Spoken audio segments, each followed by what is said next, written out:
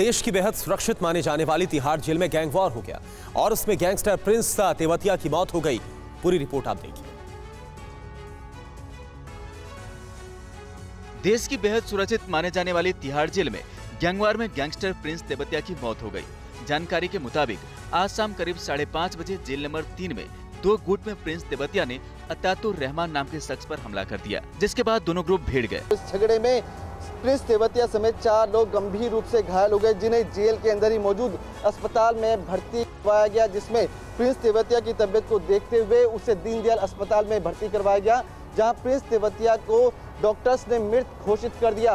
Prince Tewatia के शरीर पे पाँच ऐसी सात बार धारदार हथियार से वार किए गए थे। प्रिंस तेवतिया पर 16 मामले दर्ज थे। आशंका है कि तेवतिया की हत्या गैंगवार में हुई है। सूत्रों के मुताबिक, प्रिंस ने हाशिम बाबा और लॉरेंस बिस्नोई के साथ हाथ मिला लिया था। प्रिंस तेबतिया की हत्या के बाद शक्ति नायडू गिरोह का पूरी तरह से खात्मा हो गया है। तिहाड़ जेल में गैंगवार के शिकार प्रिंस तेबतिया पर पहले भी जानलेवा हमला हो चुका है। उस पर जेल में कुंडाल ने ब्लेड से हमला किया था।